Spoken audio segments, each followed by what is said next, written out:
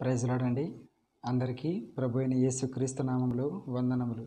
నా ప్రియ సహోదరి సహోదరులారా మీరందరూ సంతోషముగా ఉన్నారా? నేనైతే ప్రభు యొక్క మహాకృపను బట్టి చాలా సంతోషముగా ఉన్నాను. నిజముగా మనం ఈ రీతిగా జీవించి ఉన్నామనంటే నిజముగా దేవుని యొక్క కృప. దాన్ని బట్టి మనం ఎంతో ఆయనకి కృతజ్ఞస్థుతులు చెల్లించాలి. ఈ రీతిగా మనము సజీవులమై ఉన్నామంటే అది మన ధన్యత. కాబట్టి ఆయన మనకిచ్చినటువంటి యొక్క సమయాన్ని మనము ఆయన యొక్క వాక్యానికి అప్పగిద్దాము. మీకు ఎటువంటి ప్రార్థన అవసరతలు ఉన్నా సరే కింద కమెంట్ బాక్స్లో కమెంట్ చేయండి. నేను మీ కొరకు ప్రార్థన చేస్తాను. లేకపోతే కింద ఇవ్వబడిన నెంబర్కి ఈ యొక్క డిస్క్రిప్షన్లో మీ యొక్క కింద ఇవ్వబడిన నెంబర్కి మీరు కాల్ చేయొచ్చు. తప్పకుండా నేను మీ కొరకు ప్రార్థన చేస్తాను. అలాగే ఈ యొక్క లైవ్ ప్రోగ్రామ్ని మీరు ఈ యొక్క బంధువులకి స్నేహితులకి షేర్ చేయండి. అనేక మంది దేవుని వాక్యము ద్వారా బలపడటకు మీ వంతు సహాయము మీరు అందించండి. మీరందరూ కళ్ళు మూసుకొని ప్రార్థనలు ఏకీభించినట్లయితే మీ అందరి కొరకు నేను ప్రార్థన చేస్తాను. ప్రార్థన పూర్వకంగా ఈ యొక్క వాక్యాన్ని మనం ప్రారంభించుకుందాము. దయచేసి ప్రతి ఒక్కరు కూడా కళ్ళు మూసుకొని ప్రార్థనలు ఏకీభించండి. స్తోత్రం స్తోత్రం తండ్రి ప్రభువ ఏసయ్య మీకు వందనములు. సజీవుడైన దేవ మీకు వందనములు. నా ప్రియ పరలోకపు తండ్రి మీకు వందనములు. మీ కృపను బట్టి వందనములు ప్రభువ ఏసయ్య. ఈ రీతిగా మేము సజీవులుగా ఉన్నామంటే నిజముగా మీ యొక్క కృప. ఈ యొక్క లైవ్ ప్రోగ్రామ్కి ఎవరెవరైతే వస్తున్నారో ప్రభువ ఏసయ్య వస్తున్న ప్రతి ఒక్కరిని మీరు దీవించండి ఆశీర్వదించండి. మీ వాక్యము ద్వారా వాళ్ళు బలము పొందుకునే సామర్థ్యాన్ని వారికి దయచేయండి ప్రభువ ఏసయ్య. వినుట వలన విశ్వాసము కలుగును. అది క్రీస్తు కూర్చున్న వాక్యం వలన కలుగును చెప్పిన రీతిగా తండ్రి ప్రభువ మీ జీవము గల వాక్యము ద్వారా ద్వారా వాళ్ళు బరిబరటకు మీ కృపను చూపమని. తండ్రి లేఖనములు వారు గ్రహించినట్లుగా ప్రభు ఏసయ్య తండ్రి మీ యొక్క కృప కనికరము వారికి దయచేయమని నూరింతలుగా వారిని దీవించి ఆశీర్వదించి ప్రతి బలహీనత నుంచి విడుదల దయచేయమని. నజరేయుడైన యేసు క్రీస్తు నామములో అడిగి వేడుకొనుచున్నాను తండ్రి. ఆమెన్. అండి. సో ఈరోజు మనము ధ్యానించబోయే అంశం ఏంటి అని అంటే నా దేవుడు నా ప్రార్థన ఆలకించును. ఇక్కడ ఈ యొక్క వ్యక్తి ఆ రీతిగా అంటున్నాడు. మరి మీరు ఆ రీతిగా చెప్పగలుగుతున్నారా? నా దేవుడు నా ప్రార్థన ఆలకించును అని. ఇక్కడ ఎవరు చెప్తున్నారంటే ఆ యొక్క విషయము. మీకా గ్రంథము ఏడో అధ్యాయము ఏడో వచనం చూడండి. ఇక్కడ ఈ యొక్క దైవజనుడు ఈ రీతిగా అంటున్నాడు. అయినను యెహోవా కొరకు నేను ఎదురు చూచెదను. రక్షణ కర్తయగు నా దేవుని కొరకు నేను కనిపెట్టియుందును. నా దేవుడు నా ప్రార్థన ఆలకించును. హలెలుయ ఇక్కడ ఏ వ్యక్తి అయితే మాట్లాడుతున్నాడో ఆ వ్యక్తి అంటున్నాడు. ఏమంటున్నాడు?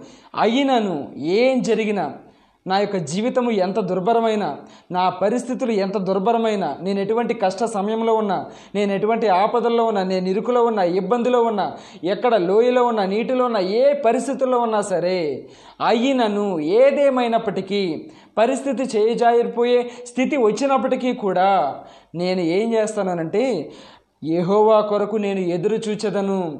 నా రక్షణ కర్తయగు నా దేవుని కొరకు నేను కనిపెట్టి ఉందును హల్లెల్లుయ మరి నీవు కనిపెడుతున్నావా? ఒక కొంచెం సమస్య రాగానే ఇరుకు రాగానే ఇబ్బంది రాగానే విశ్వాసం నుంచి తొలగిపోతున్నావా? నా దేవుడే గనక నా జీవితంలో ఈ రీతిగా ఉంటే నాకెందుకు ఈ కష్టాలు? నాకెందుకు ఈ శ్రమలు? అని అంటున్నావా?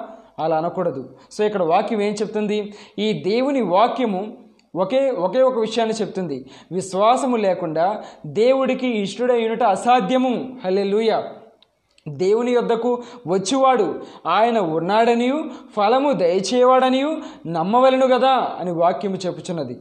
మరి నీవు నమ్మాలా? పరిస్థితి ఎంత దారుణంగా ఉన్నా నువ్వు నమ్మాలా? అవును అపవాది వచ్చి ఎన్నో అబద్ధాలు చెప్తూ ఉంటాడు. ఎలాగైతే యోగు జీవితంలో శ్రమలు ప్రారంభమైనప్పుడు అందరూ విడిచిపెట్టేశారు. అతనుకున్న ఆస్తి పోయింది పిల్లలు చనిపోయారు అతనుకున్న సమస్తాన్ని మొత్తము కోల్పోయాడు. అయితే తన యొక్క కౌగిటిలో పండుకునే భార్య ఏమంటుంది అంటే ఇదిగో నీవు ఇంకను యథార్థక వదలకు ఉన్నావా? ఆ దేవుణ్ణి దూషించి చచ్చిపో అని చెప్పని ఆ యొక్క యోబుని అండం మనం చూస్తున్నాము కానీ ఆ యోబు ఆ ఆఖరి నిమిషంలో కూడా నేను నా యథార్థతను విడవను. ఏ? దేవుడి వల్ల మనం మేలుని అనుభవించాలా? కీడుని అనుభవింప తగదా? అని చెప్పని అతడు పలికిన మాటలను మనం గమనించవచ్చు. అంతకు మునిపే అతడు ఆ ప మాటలు పలుకక మునిపే ఆ పరలోకమందున్న దేవుడు ఆ అపవాదితో మనుషులకు కీడు చేయాలని ఎప్పుడూ ప్రయత్నించే ఆ యొక్క అపవాదితో దేవుడు ఏమంటున్నాడంటే యోబు వంటి నీతిమంతుడు ఎవ్వరూ లేరు. హల్లెలూయ. అవునండి. ఆ యొక్క యోబు నీతిమంతుడని దేవుడే సాక్ష్యం చెప్పాడు. ఎందుకంటే మనము పుట్టక మునిపే దేవుడు మన యొక్క మన గురించి పూర్తిగా ఆయనకు తెలుసు. మన స్వభావము మన తలంపులు మన ఆలోచనలు సమస్తము ఆయన ఎరిగినవాడు. మనము కూర్చుండుట లేచుట ప్రతిదీ కూడా ఆయనకు తెలుసు. హలే లూయ కాబట్టి నీవు ఇప్పుడు ఏం మాట్లాడతావా అని చెప్పని ఆయన ముందే ఆలోచించవలసిన అవసరం లేదు. నీ గురించి సమస్తమును ఎరిగినవాడు ఆయన. కాబట్టి ఇక్కడ దేవుడు చెప్పడం మనం చూస్తున్నాము. అదే రీతిగా అదే విశ్వాసాన్ని ఆ యోబు కనపరచడం కూడా మనము చూస్తున్నాము. కానీ ఇక్కడ ఈ వ్యక్తి ఏమంటున్నాడు? నా పరిస్థితి ఏదైనా సరే ఏమంటున్నాడు? నేను ఏహోవా కొరకు ఎదురు చూసేదను దానికి పైన స్నేహితుని ఎందు నమ్మకం ఉంచొద్దు భార్య ఎందు నమ్మకం ఉంచొద్దు ఎవరి మీద నమ్మకం ఉంచొద్దు దేవుని మీద నమ్మకం ఉంచాలని చెప్పని ఇక్కడ మనం చెప్పడం మనం చూస్తున్నాము. ఇంకా ఏమంటున్నాడు ఆయన? ఎందో వచ్చినములు నా శత్రువా నా మీద అతిశయింపవద్దు. నేను క్రింద పడినను తిరిగి లేతును. నేను అంధకారమందు కూచునను యహోవా నాకు వెలుగుగా ఉండును. హలేలుయ అంధకారము అంటే చీకటి బాధ వేదన కష్టము. సో మన జీవితంలో చీకటి ఉన్నది అని అనడానికి నిద్ర నిదర్శనం ఏంటి అని అంటే అంత బాధ శ్రమలు కష్టాలు అంత సంతోషం లేకపోవడము. ఎప్పుడు వెలుగు మంచిదండి. ఎందుకే దేవుడు ఏమంటాడు? వెలుగు మంచిదైనట్టు దేవుడు చేశాను. హలెలుయ ఎవరి జీవితంలో అయితే వెలుగుంటుందో వారి యొక్క జీవితములు సంతోషముగా ఉంటాయి. ఎవరి జీవితంలో అయితే చీకటి ఉంటుందో వారి జీవితములు చాలా దుర్భరంగా మారుతాయి. వాళ్ళ జీవితంలో వృద్ధి ఉండదు. వాళ్ళ వ్యాపారాల్లో వృద్ధి ఉండదు. వాళ్ళ ఉద్యోగాల్లో వృద్ధి ఉండదు. కుటుంబ సమస్యలు అనేక రీతిగా బాధలు కష్టాలు ఇరుకులు వాళ్ళు ఉంటున్నారు అని అంటే ఏదో బ్రతుకుతున్నారు అని అంతే. కానీ అంతకు మించి వారికి ఇంకేమీ ఆనందము పొందుకోలేరు. కానీ ఇక్కడ దేవుడు ఏమంటున్నాడంటే దేవుని గారి వాక్యం ఏం చెప్తుంది? నా శత్రువా నా మీద అతిశయింపవద్దు. నేను క్రింద పడినను తిరిగి లేతును. హల్లెలూయ. సో నేను ఏ విషయంలో పడిపోయినా సరే ఆత్మీయ స్థితిలో కానీ ఆ యొక్క ఆర్థిక పరిస్థితుల్లో కానీ ఆరోగ్యములో కానీ సో మనం ఏ అంశంలో అయినా సరే మనం పడిపోయి ఉండొచ్చు. కానీ ఎప్పుడైతే మనల్ని తిరిగి లేపగల జీవింపజేయగ శక్తి కలిగిన ఆ దేవుని వైపు మనం ఎప్పుడైతే కనిపెడతామో ఎప్పుడైతే మనము నిరీక్షణ కలిగి మనం ఉంటామో ఖచ్చితంగా దేవుడు ఏం చేస్తాడండి? మనల్ని తిరిగి నిలువబెడతాడు అందుకే ఇక్కడ తను ఇంత ధైర్యంగా చెప్పగలుగుతున్నాడు. నీవు నవ్వ నువ్వు నవ్వినా పర్వాలేదు. నువ్వు అతిశయించినా పర్వాలేదు. కానీ నా దేవుడు నన్ను ఏం చేస్తాడు? నిలువబెడతాడు నేను అంధకారం ముందు కూర్చున్నా. నీవు నన్ను కమ్మినా నా జీవితంలో చీకటి ఉన్నా సరే దేవుడు వెలుగు గనుక ఆయన ఎప్పుడైతే నా జీవితంలోకి నా బ్రతుకులోకి వస్తాడో ఎప్పుడైతే ఆయన నాలోకి వస్తాడో నా పక్షాన్ని యుద్ధం చేయడానికి ప్రారంభిస్తాడో నా తరపున ఆయన వాద్యమాడడం ఎప్పుడైతే ప్రారంభిస్తాడో నేను ఏమవుతాను? నేను క్రింద పడినను తిరిగి నేను లెగుస్తాను. హాలెల్లుయ. నేను ధూళిలోకి వెళ్ళిపోయినా సరే దేవుడు నన్ను తిరిగి జీవింపజేస్తాడు. నేను మరణించిన దేవుడు నన్ను బ్రతికిస్తాడు. హాలెల్లుయ. ఆ ఆ యొక్క మన పాతాళంలోకి వెళ్తే అక్కడంతా చీకటే. అక్కడ వెలుగు ఏమాత్రము కూడా ఉండదు. ఆ నరకములో ఆ పాతాళములో ఆ చీకటి బిలముల్లో ఆ యొక్క వెలుగు ఏమాత్రము కూడా ఉండదు. కానీ ఎప్పుడైతే ఆ వెలుగు అయినటువంటి ఆ యొక్క జీవానికి అధిపతి అయిన దేవుడిని ఎప్పుడైతే మనం కలిగి ఉంటామో మనలో ఎప్పుడైతే జీవం ఉంటుందో మనలో ఎప్పుడైతే వెలుగు ఉంటుందో మనం అంధకారం ముందు కూర్చున్నా సరే దేవుడు మనల్ని ఏం చేస్తాడు? వెలుగులోకి తీసుకువస్తాడు. హలెల్లుయ. అందు గురించి చూడండి ఇక్కడ ఏమంటుంది తొమ్మిదో వచనములు? నేను యహోవా దృష్టికి పాపము చేసి తిని గనుక ఆయన నా పక్షమున వాద్యమాడి నా పక్షమున న్యాయము తీర్చు వరకు నేను ఆయన కోపాగ్నిని సహింతును. ఓకే నేను ఒప్పుకుంటా. నేను నా జీవితంలో చేసిన ఆ చెడ్డ క్రియలకు ఆ యొక్క చెడ్డ కార్యములకు ఇప్పుడు నాకు ఈ కష్టాలు వచ్చాయి నాకు ఈ శ్రమలు వచ్చాయి నేను ఒప్పుకుంటాను ఖచ్చితంగా. వాటన్నింటినీ నేను భరిస్తాను. ఎందుకొరకునంటే నా పక్షాన్ని దేవుడు వాద్యమాడాలా? నా పక్షాన ఆయన పోరాడాలా? కాబట్టి నేనేం చేస్తాను? ఆయన నా పక్షాన వాద్యం ఆడే వరకు పోరాడే వరకు కూడా నేను ఆయన కోపాగ్ని నేను సహిస్తాను. ఎలాగైతే తల్లిదండ్రులు బిడ్డలు తప్పు చేసినప్పుడు ఎలాగైతే మందలిస్తారు ఎలాగైతే కొన్ని దెబ్బలు కొడతారు ఎందుకంటే వాళ్ళు మార్గము త్రిప్పుకోవాలని ఆ చెడ్డ మార్గంలో వెళ్ళి వాళ్ళు నశించిపోకుండా మంచి మార్గంలోకి రావాలని తల్లిదండ్రులు కొన్ని దెబ్బలు వేస్తారు. అవి ప్రేమతో కూడిన దెబ్బలే కానీ వాళ్ళని నశింప చేయాలనే ఉద్దేశంతో కొట్టినవి కావు. అలాగే మన పరలోకపు తండ్రి కూడా మన జీవితంలోకి కొన్నిటిని ఎలవ్ చేస్తాడు. ఎందుకొరకు అని అంటే ఏమన్నా మనలో ఏమన్నా ఉన్నాయో సరి చేసుకోవాలేమో. మనం ఆయన ఎదుట ఏమన్నా ఒప్పుకోవాలేమో. సో మనం ఏమన్నా ఆయన ఎదుట మన యొక్క పాపముల గురించి మనం ఒప్పుకోవాలేమో మారు మనసు పొందుకోవాలేమో అన్న ఉద్దేశంతో ఆయన ఏం చేస్తాడనంటే కొన్ని విశ్వాస ఆ యొక్క జీవితంలో మనం వృద్ధి పొందడానికి ఆ విశ్వాసాన్ని మనము ఆ యొక్క బంగారం ఎలాగైతే పరీక్షించబడుతుందో అలాగే మన విశ్వాసం కూడా పరీక్షించబడడానికి కొన్ని శ్రమలు కొన్ని శోధనలు మన జీవితంలోకి వస్తాయి. అవన్నీ మన ఆత్మీయ స్థితి ఎలాగున్నది? దేవుని పట్ల మన విశ్వాసత ఎలా ఉన్నది అని మనం కనపరచడానికి ఎలాగైతే యోబు జీవితంలో వచ్చిన కష్టాలు అతని విశ్వాస స్థాయిని ఏ రీతిగా అయితే చూపిస్తుందో అలాగే మన జీవితంలోకి వచ్చే శ్రమలు ఇరుకులు ఇబ్బందులు కూడా మన విశ్వాస స్థాయిని చూపించడానికి అవన్నీ మనకు సహాయపడతాయి. హలెలుయ ఆ తర్వాత యోబు కింద పడ్డాడు. మొత్తం అంతా అయిపోయింది అనుకున్నారు యోబు జీవితము. అసలు యోబు జీవితం ఫినిష్ ఇంకా. అతను మొత్తం కుటుంబాన్ని పోగొట్టుకున్నాడు. అతని ఆస్తి పాడైపోయింది. అసలు దాసదాసులు పశువులు ఏమీ లేవు. అంతా అయిపోయింది అనుకున్నారు అతని జీవితము. కానీ దేవుడు ఏం చేశాడు? అతన్ని మళ్ళీ సమృద్ధినిచ్చాడు అతనికి. ఎన్నో రెట్లు అతను ఆశీర్వదించాడు. హలెలుయ కాబట్టి ఏహోవా యందు ఎవరైతే నిరీక్షణ ఉంచుతారో ఎవరైతే తమ తాము పట్టుకుని ఉన్న యథార్థతను వాళ్ళు విడిచిపెట్టకుండా ఎవరైతే చివరి వరకు నమ్మకముగా పోరాడతారో వాళ్ళ కొరకు దేవుడు ఒక మంచి బహుమానాన్ని సిద్ధపరిచి ఉన్నాడు. హల్లెలూయ. కాబట్టి ప యోబులు అనొచ్చు ఓకే నేను ఏమైనా అతిక్రమాలు చేసి ఉన్నానేమో అని చెప్పాను కానీ యోబు ఏమంటున్నాడు? నేను నీతిపరుడను దేవుడే నా ఎదుట నీతి తప్పాను నా ఎడల నీతి తప్పాను అన్నాడు. అంటే తన స్వనీతితో నిండిపోయి ఉన్నాడు. కానీ దేవుడు ఎక్కడా కూడా ఆ యోబుని గద్దించినట్టు మనం చూడడం కానీ ఆ దేవుని యొక్క శక్తిని ఎప్పుడైతే ఆ దేవాతి దేవుడు సుడిగాలి రూపంలో వచ్చి యోబుకు బయలుపరిచాడో అప్పుడు యోబు అనగలిగాడు. నా విమోచకుడు సజీవుడు. హలే అవును. చీకిపోయిన ఈ శరీరముతో నేను నా యొక్క విమోచకుడిని నేను చూస్తాను. ఆయన సజీవుడు. ఆయన యుగ యుగములు జీవించేవాడు. ఆయన నా పాపముల నిమిత్తమై ఆయన వెల చెల్లిస్తాడు. ఖచ్చితంగా నేను చీకట్లో ఉన్నా యెహోవా నాకు వెలుగుగా ఉంటాడు. నేను చీకట్లో ఉన్నా మళ్ళీ నన్ను వెలుగులోకి ఆయన తీసుకుని వస్తాడు. నేను అక్కడ శాశ్వత కాలం ఉండను ఆ చీకట్లో అని చెప్పని ఆ యోబు ధైర్యంగా చెప్పగలిగాడు. కాబట్టి ఎవరైతే ఎవరైనా ఎవరైతే జీవము గల దేవుని యందు ఎవరైతే విశ్వాసం ఉంచుతారో వారందరూ కూడా నూతన బలము వారు పొందుకుంటారు. పక్షి రాజు వలె రెక్కలు చాపి వాళ్ళు పైకి ఎగురుతారు. హలెల్లుయ. కాబట్టి దేవుడు మన పరలోకమందున్న దేవుడు మనల్ని రూపించిన దేవుడు సర్వశక్తిమంతుడు. ఆయన మనల్ని విడవడు ఎడబాయడు. హలెల్లుయ. యోబును కూడా విడవలేదు ఎడబాయలేదు. అంతా అయిపోయింది అనుకున్నారు. కానీ దేవుడు ఏం చేశాడు? మొత్తం మళ్ళీ తిరిగి మార్చేశాడు. ఇంకా మనం చూసినట్లయితే చూడండి. అదే తొమ్మిదవ వచనము. ఆయన నన్ను వెలుగులోనికి రప్పించును. ఆయన నీతిని నేను చూచెదను. హలెల్లుయ. కాబట్టి మన స్వనీతి ఎక్కడో కూడా మనకు రక్షణ దయచేయదు. దేవుని నీతి మాత్రమే మనకి రక్షణ దయచేస్తుంది. హలెల్లుయ. ఎందుకంటే ఆయన నీతిని మనం ఎప్పుడైతే పొందుకుంటామో దుష్టుడు మన జీవితంలో ఏలుబడి చేయడానికి అవకాశం ఏమాత్రము ఉండదు. ఇక్కడ మనం అబ్జర్వ్ చేసినట్లయితే అతడు తన తనకు కలిగినటువంటి ఆ యొక్క శ్రమలు కల్పించిన శత్రువుతో మాట్లాడుతున్నాడు. ఏమంటున్నాడు చూడండి. పదవచనము. నా శత్రువు దానిని చూచును. నీ దేవుడైన యహోవా ఎక్కడనని నాతో అనినది అవమానము నొందును. అది నా కండ్లకు అగుపడును. ఇప్పుడు అది వీధిలోనున్న బురద వలె త్రొక్కబడును. హల్లెల్లుయ నీ జీవితంలో శ్రమలు కష్టాలు వచ్చినప్పుడు అపవాది నీ దగ్గరకు వస్తాడు. వచ్చి ఏమంటాడు నీ చెవిలో? దేవుడు నిన్ను విడిచిపెట్టేశాడు. దేవుడు నీ ప్రార్థన ఆలకించాడు. దేవుడు నీ ప్రార్థన అంగీకరించాడు. నువ్వు పాపివి. నువ్వు చేసిన పాపాలకి నువ్వు శిక్ష అనుభవిస్తున్నావు. దేవుడు నీకేమి చేయడు. అతడు పాపుల మనవి ఆలకించడు అని చెప్పని అతడు ఎన్నో ఎన్నో అబద్ధాన్ని నీకు చెప్తూ ఉంటాడు. కానీ ఎప్పుడైతే నువ్వు జీవము గల దేవుని మీద విశ్వాసం ఉంచుతావో నీ పాపములన్నీ ఆయన సన్నిధిలో ఒప్పుకొని దేవా నా దేవా నా ప్రభువ నాకు సహాయము చేయము. నేను నీ శరణు జొచ్చి ఉన్నాను. నీ పాదాల దగ్గరకు వచ్చి ఉన్నాను. దయచేసి నీ కృప నాకు చూపించు ప్రభువ. ఈ శ్రమలన్నిటి నుంచి నాకు విడుదల దయచేయి అని ఎప్పుడైతే నువ్వు ప్రార్థన చేస్తావో దేవుడు నీ పక్షాన వాద్యమాడతాడు. దేవుడు నీ పక్షాన యుద్ధము చేస్తాడు. హలెలుయ్య అందుకే ఈ వ్యక్తి ఇంత ధైర్యంగా చెప్పగలుగుతున్నాడు.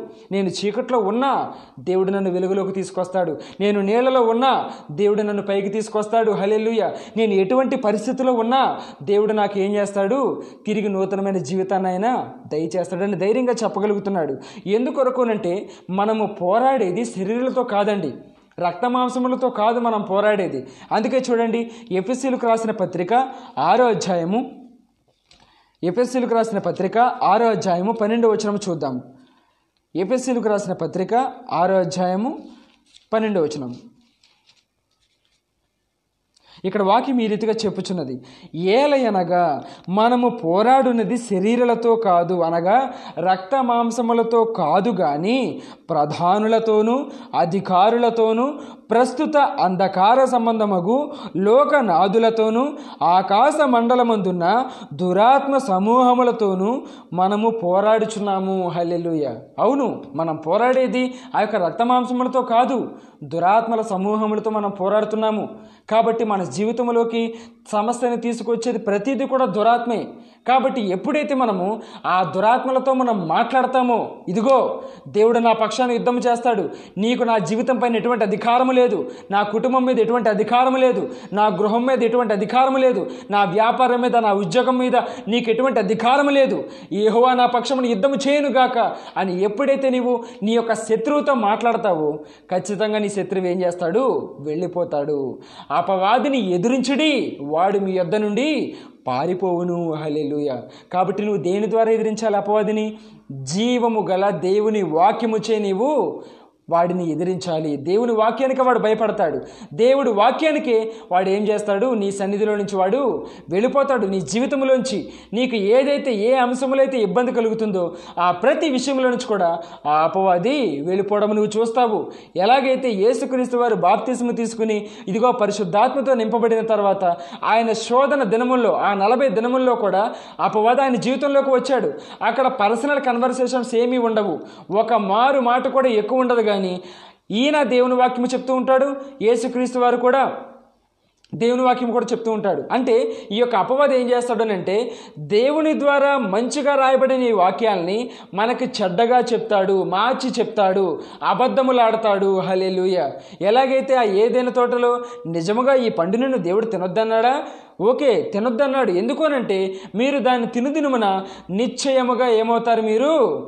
మంచి చెడులు తె- మంచి చెడులు మీరు తెలుసుకుంటారు. ఆ పరలోకముందున్న దేవదూతల వల్ల మీరు మారిపోతారు అని చెప్పని అక్కడ అబద్ధం చెప్పడం మనం చూస్తున్నాము. అలాగే ఇక్కడ యేసుక్రీస్తు వారితో కూడా కీర్తనల గ్రంథము తొంభై ఒకటో అధ్యాయంలో ఇదిగో నువ్వు పైనుంచి కిందకు దూకు. నీ పాదములకు రాయ తగలకుండా వారి నిన్ను దేవదూతలు తమ చేతుల మీద ఎత్తి పట్టుకుందురు అని ఆ యొక్క అపవాది సాతాను ఆ దేవుని వాక్యాన్ని వక్రీకరించడం మనం చూస్తున్నాము. అంటే అబద్ధముగా చెప్పడం మనం చూస్తున్నాము. దేవుడు చెప్పిన సందర్భము వేరు ఈ అపవాది చెప్తున్న సందర్భం వేరు. హల్లెలూయ.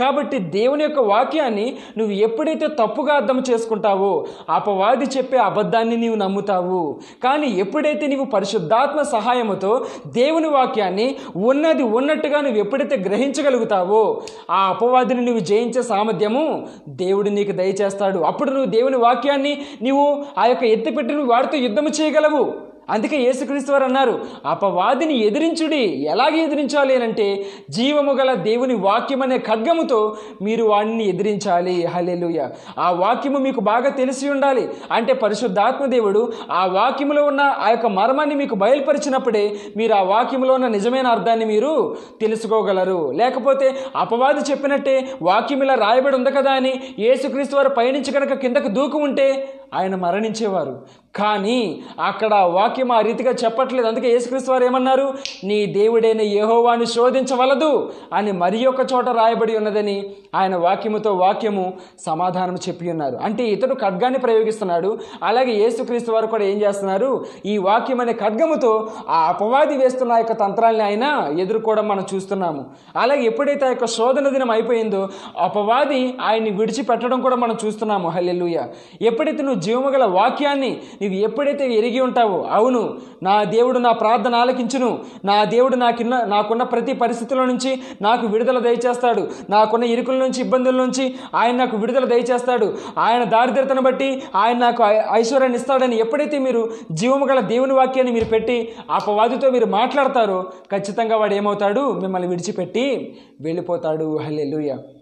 ఆ వాక్యాన్ని మీరు నమ్మాలా?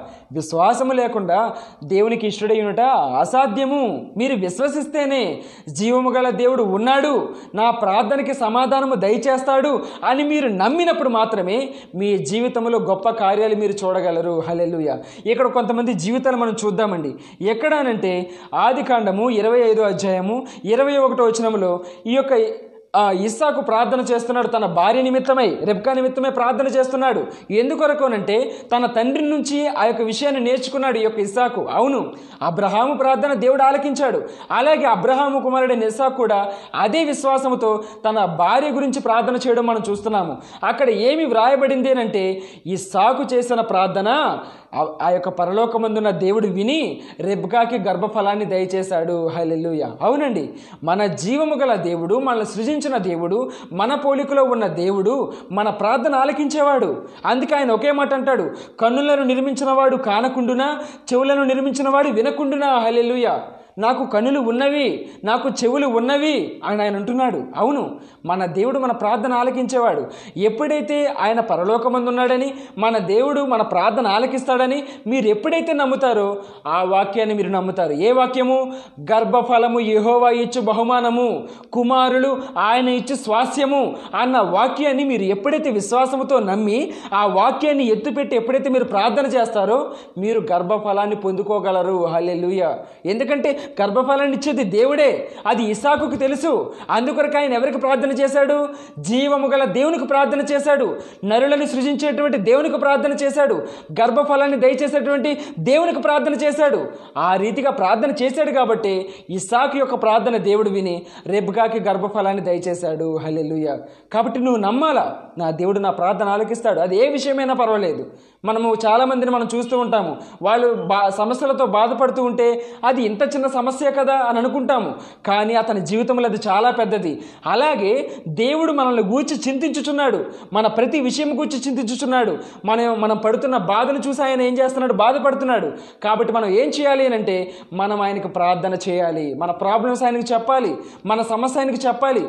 ఏ రెబ్కాకి గర్భఫలం లేదని దేవునికి తెలియదా తెలుసు. కానీ ఇస్సాకు ఎప్పుడైతే ప్రార్థన చేశాడో ఇస్సాకు యొక్క ప్రార్థన విని దేవుడు ఏం చేశాడు? ఆ యొక్క రెబ్కా యొక్క గర్భఫలాన్ని తెరిచి ఉన్నాడు. ఆయనకి సమస్తము తెలుసు.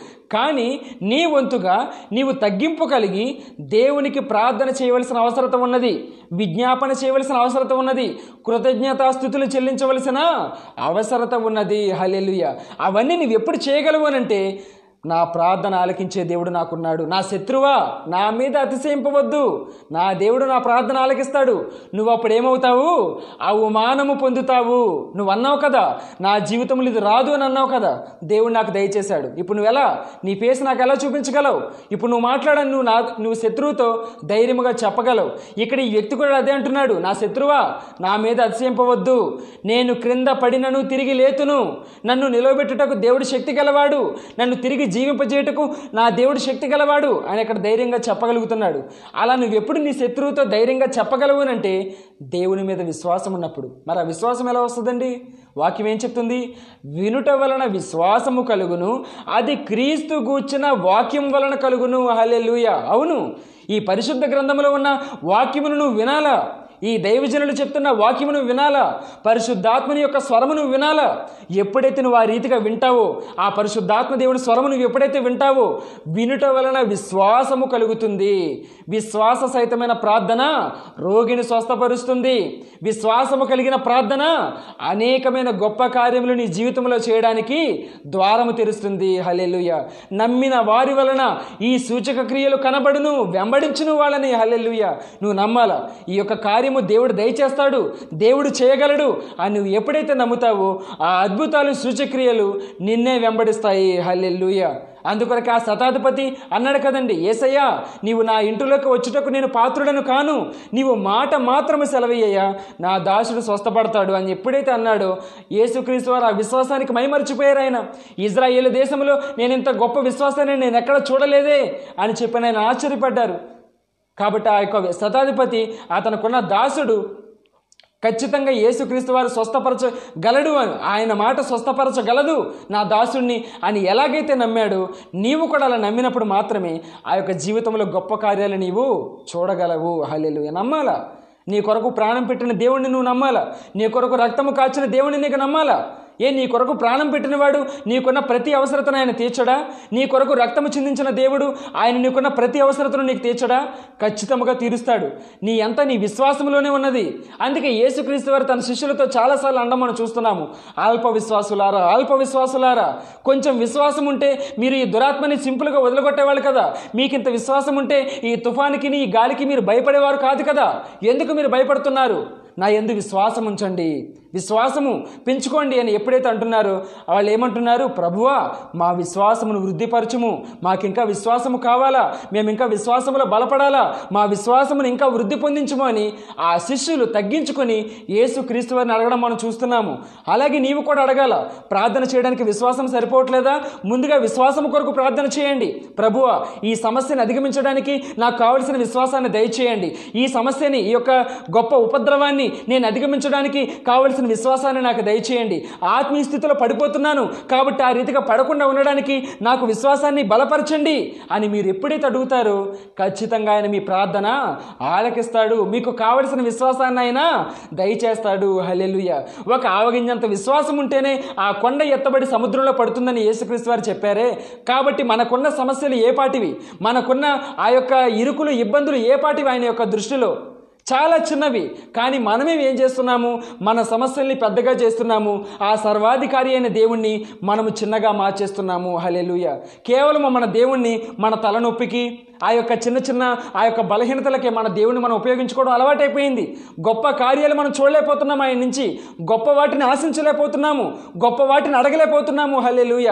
దేవా నా జీవితంలో ఈ గొప్ప కార్యము దయచేయి. ఈ గొప్ప వాటిని చేయి అని మనం అడగలేకపోతున్నాం. ఎందుకొరకునంటే అవిశ్వాసము నా దేవుడు చేస్తాడో చేయడు. నా దేవుడు నా ప్రార్థన ఆలకిస్తాడో ఆలకించడు. అమ్మో నేను వంద రూపాయలు అడగాలి. రెండు వందలు అడిగితే నా దేవుడు ఇస్తాడో ఇవ్వడో? ఏ నీ దేవుడు ఏమన్నా పేదవాడా? నీ దేవుడు ఏమన్నా పేద దేవుడా? ఆయన పరలోకపు మహిమైశ్వర్యంలో ఉన్నవాడు ఆయన అక్కడంతా బంగా బంగారపు వీధులు ఉన్నాయి అక్కడ ఆయన మన కొరకు ఏమీ లేదు. యేసుక్రీస్తు వారు ఏమన్నారు? నేను మీ కొరకు అక్కడ స్థలాన్ని సిద్ధపరచడానికి వెళ్తున్నాను. నేను వెళితేనే మీకు అక్కడ నేను స్థలాన్ని సిద్ధపరుస్తాను. నేను వెళ్ళని ఎడల మీకు అక్కడ ఎవరు స్థలాన్ని సిద్ధపరుస్తారు? అని చెప్పిన యేసుక్రీస్తు వారు చెప్పడం మనం చూస్తున్నాము. కాబట్టి మన తండ్రి ఐశ్వర్యవంతుడు సమృద్ధి గలవాడు. హలెల్లుయ. కాబట్టి మనం ఏదైనా అడిగే ముందు మనం విశ్వాసముతో అడగవలసిన వారమై ఉన్నాము. ఇంకా చూడండి. సంఖ్యాకాండము ఇరవై ఒకటో అధ్యాయము ఎనిమిదో వచనములో ఇక్కడ మోస ప్రార్థన చేస్తున్నాడు. వాళ్ళందరూ అవిధేయతలో దేవుణ్ణి శోధించడం మనం చూస్తున్నాము. కానీ ఇక్కడ మోసే చేసిన ప్రార్థన దేవుడు విని ఏమంటున్నాడనంటే అక్కడ ఆ యొక్క ఇత్తడి సర్పాన్ని నిలవబెట్టు మోసే ఇత్తడి సర్పాన్ని నువ్వు నిలవబెట్టు. ఎవరైతే ఆ ఇత్తడి సర్పము తట్టు వారు ఎత్తి చూస్తారో వాళ్ళు ఏమవుతారు? ఆ తాపకరమైన సర్పములు ఆ యొక్క కాటి వేయడం వలన వచ్చిన ఆ యొక్క విషము నుంచి వారు విడుదల పొందుకుంటారు. అందరూ స్వస్థపడతారు. హలెల్లుయ. అలాగే కొత్త నిబంధనలో ఏం చెప్పబడిందంటే అక్కడ ఇత్తడి సర్పము ఎలాగైతే ఎత్తబడిందో అలాగే ఇక్కడ యేసు క్రీస్తు వారు దేవుని కుమారుడు ఎత్తబడాలి. అక్కడ ఇత్తడి సర్పాన్ని చూసిన వాళ్ళందరూ కూడా ఎలాగైతే స్వస్థత పొందుకున్నారో. అలాగే ఇక్కడ శాపగ్రస్తుడిగా మారిన ఆ యొక్క ఇత్తడి సర్పము స్థానములో మన పాపాలు ఆయనే భరించి మన కొరకు శాపగ్రస్తుడిగా మారినటువంటి ఆ మ్రాను మీద శాపగ్రస్తుడిగా మారినటువంటి ఆ యేసు వైపు మనం ఎప్పుడైతే చూస్తామో మనకున్న ఇరుకులు ఇబ్బందులు ప్రతిదీ తొలగిపోతాయి. హలెలుయ ఎందుకంటే నిశ్చయముగా అతడు మన రోగములు భరించాడు. నిశ్చయముగా అతడు మన వ్యసనములు సహించాడు. నిశ్చయముగా అతడు మన పాపాలను పరిహరించి ఉన్నాడు ఆయన. ఆయన మన కొరకు సమస్తాన్ని చేసి ఉన్నాడు. సమస్తాన్ని చేసిన దేవుడు మన కొరకు ఎందుకు కావలసిన అవసరతను ఆయన దయచేయడు. అందుకే యేసుక్రీస్తు వారు అంటారు పరలోకమందున్న తండ్రి ఎంతో నిశ్చయముగా మీకు మంచి ఈవుల్ని ఇస్తాడు శ్రేష్టమైన ఈవుల్ని ఇస్తాడు. ఏ ఒక తండ్రి రొట్టెనడిగితే రాయునిచ్చినా చేపనడిగితే తేలునిచ్చినా ఇదిగో మీరు చెడ్డవారయ్యుండి మీ పిల్లలకి మంచి ఇవ్వాలని మీరు ఎరిగి ఉన్నారే. మీ పరలోకపు తండ్రి ఏమైనా చెడ్డవాడా? పరలోకపు తండ్రి మంచివాడు. ఆయన మంచివాళ్ళ మీదను చెడ్డవాళ్ళ మీదను వర్షాన్ని కురిపిస్తున్నాడు. నీతిమంతుల మీదను అవినీతిమంతుల మీదను తన సూర్యకాంతి ప్రకాశింపజేస్తున్నాడు. అటువంటి కృప కనికరం గల దేవుడు మన పరలోకపు తండ్రి. ఏ ఆ తండ్రి మీకు శ్రేష్టమైనవి ఇవ్వడా? మంచి ఇవ్వడా? మీరు ఆ పేదరికలలోనే ఆ దారిద్ర్యంలోనే ఆ అనారోగ్యంలోనే ఉండాలని ఆయనకి ఏమైనా ఇష్టమా అంటే ఆయనకి ఏమాత్రం ఇష్టము కాదు. నన్ను అడగట్లేదే వీళ్ళు నా బిడ్డలు నన్ను అడగట్లేదే. ఎలాగైతే తల్లిదండ్రులు తమ బిడ్డలు తమల్ని అడగాలని ఇదిగో బిడ్డలు అడిగిన ప్రతిదీ తల్లిదండ్రులు ఇవ్వాలని ఎలాగైతే ఆశపడతారో అలాగే మన పరలోకమందున్న తండ్రి కూడా మనం అడగాలని ఆశపడుతున్నాడు ఆయన. మనం ఆయన నామములు అడగాలని ఆశపడుతున్నాడు. ఎలాగునంటే ఆ విధవరాలు ఎలాగైతే న్యాయాధిపతి దగ్గరకు వచ్చి నాకు నా ప్రతివాదికి న్యాయము తీర్చు అని ప్రతిరోజు ప్రతిరోజు ఎలాగైతే ఆయనకు ఆయన సన్నిధిలోకి వచ్చి గోజాలుతుందో ఆ న్యాయాధిపతి ఎలాగంటండి? ఎవ్వరికీ భయపడ్డంట. అటువంటి న్యాయాధిపతి ఈ విధవరాలకి భయపడి న్యాయము తీర్చాడంట. అలాగే ఎగ్జాంపుల్ చెప్పాడు ఆయన యేసుక్రీస్తు వారు. అలాగే మనము కూడా ప్రార్థన చేయాలంట. ఒక విషయమే ప్రార్థన ప్రారంభించామనంటే అది మన జీవితంలో నెరవేరే వరకు దాన్ని మనం మానకూడదు. ప్రతిరోజు వెళ్ళాలా దేవుని సన్నిధిలో పెట్టాలా. ఖచ్చితంగా దేవుడు ఏం చేస్తాడు? తగిన సమయమందు దానికి ప్రతిఫలాన్ని ఇస్తాడు. హల్లెల్లుయ కాబట్టి ప్రార్థన చేయడానికి సమయం లేదు. ఈ సమయంలోనే చేయాలి ఇప్పుడే చేయాలి ఇలాగే చేయాలి అని ఎక్కడా లేదు. నీ హృదయం ఎప్పుడైతే ప్రేరేపించబడిందో అప్పుడే మొత్తం నువ్వు వేయి రూమ్లోకి వెళ్ళు. తలుపు వేసుకో. నీ పరలు నీ యొక్క సన్ని ఆ యొక్క దేవుని సన్నిధిలో కూర్చుని నీ పరలోకమందున తండ్రికి ప్రార్థన చెయ్యి. ఖచ్చితంగా ఆయన ఏం చేస్తాడు? నీ మనవి ఆలకిస్తాడు. తన కృపను బట్టి తన ప్రేమను బట్టి నీ కొరకు తన కుమారుణ్ణి బలిగా అర్పించిన దేవుడు నీ కొరకు సమస్తాన్ని ఆయన ఇస్తాడు. హల్లెలూయ. అందుకే వాక్యం ఏం చెప్తుంది? యేసుక్రీస్తు వారు మనల్ని ఐశ్వర్యవంతులుగా చేయడానికి ఆయన కలువరి శిలులో దారిద్రత వహించాడు. హల్లెలూయ. యేసుక్రీస్తు వారు నీకు నాకు స్వస్థతను దయచేయడానికి ఆ కలువరి శిలవలో ఆయన రక్తము కాచాడు. హల్లెలూయ. నీ కొరకు నా కొరకు కొరడా దెబ్బలు తిన్నాడు ఆయన. మన కొరకు సమస్తము చేశాడు ఆయన.